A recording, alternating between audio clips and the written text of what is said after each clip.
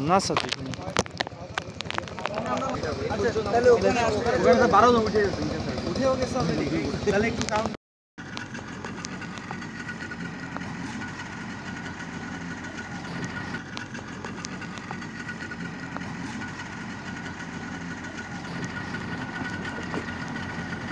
থেকে বিশ কিলোমিটার